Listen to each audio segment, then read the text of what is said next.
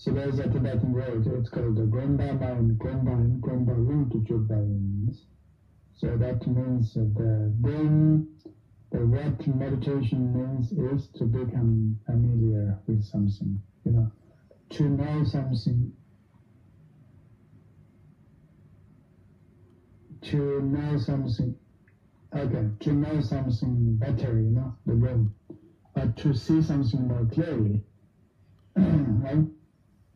And that's the name of the meditation in Tibetan word, good? And um, when we say brain, actually it's just uh, it's something always about our mind, you know. It is about uh, our inner dimension. And sometimes you just close your eyes because what you see is you don't see anything. At the same time, also it seems you see whole universe. It's like an infinite darkness, you know. the uh, maybe the dark energy or dark matter, whatever, you see kind of infinite. Uh, um,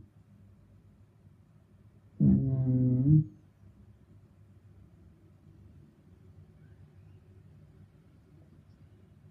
Okay, still complaining about uh,